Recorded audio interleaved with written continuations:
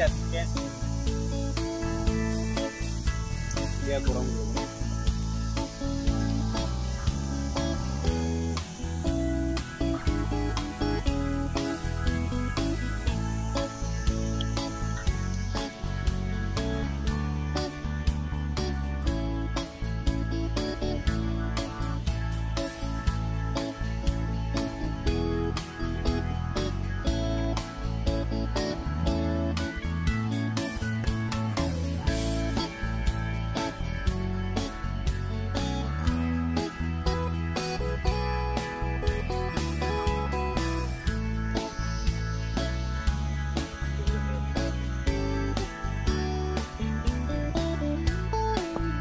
Rugi gue kebuka apa lagi?